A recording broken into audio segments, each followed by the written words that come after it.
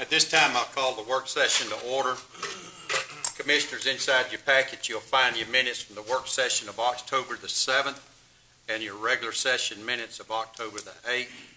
Uh, If you have not already, please review those minutes. If there are any additions, deletions, or corrections that need to be made, please see Ms. Duke so that those can be taken care of prior to tomorrow, tomorrow evening's meeting at 5:30. Agenda item